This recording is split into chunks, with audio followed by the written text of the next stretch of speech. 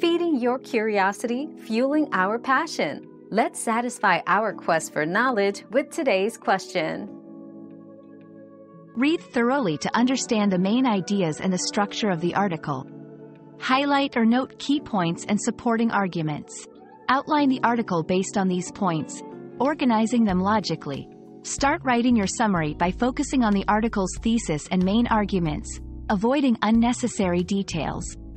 Revise your draft to ensure it reflects the article's essence concisely. Keep your summary between one quarter to one third of the original article's length for optimal conciseness.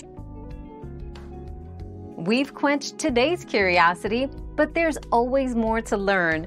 Keep the curiosity alive by subscribing and joining us for our next adventure.